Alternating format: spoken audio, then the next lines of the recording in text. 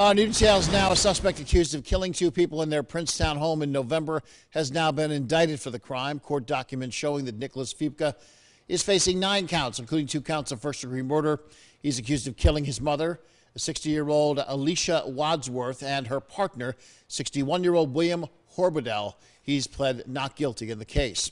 The two victims were found dead at a home on Reynolds Road in uh, November 21st while police were doing a what they call a welfare check to see if they were okay. Investigators say security camera footage showed someone firing 30 shots into the home in less than 30 seconds. Fipka was taken into custody that very next day.